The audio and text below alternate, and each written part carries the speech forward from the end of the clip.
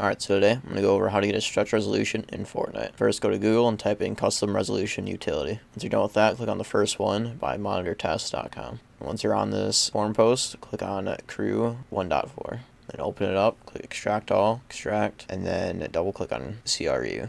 Now if this comes up, just click on more info and run anyways. Alright, now once it's open, you want to click add, type in your custom resolution you want. If you don't know which resolution to use, these are my personal top four. So just try them out, see which one you like best, and yeah, refresh rate as whatever refresh rate your monitor is. If you don't know, then just leave it at 60, then hit OK. Now once you're done with that, you want to double click on restart 64. Your monitor will go black for a few seconds, and it should come back with this message. If it doesn't, just restart your computer, and it should be fine. You want to right click on your desktop and click display settings. Once you're here, you want to click on the resolution drop down make sure that your custom resolution is there. Then also make sure that your refresh rate is what it's supposed to be. Then once you're done with that, click on your start menu and type in percent app data percent. And then click on app data, go to local, go to Fortnite game, save, config, Windows client, and open up game user settings. And once you're in here, you want to scroll down and you want to change the resolution size, X and Y, to your custom resolution. And then you also want to change the last user confirmed resolution size to your custom resolution. So you want to change your desired screen width and height to your custom resolution and your last user confirmed desired to your custom resolution. Once you're done with that, click File, Save, and exit out of it. Now to make sure that your resolution works, open up your game, go to your 3D resolution, and make sure that the make sure that the bars has your custom resolution. And that's pretty much it. Now if you want to know how to make your OBS stretch, it has black bars, just right click in your game capture, go to transform, and then click on stretch the screen.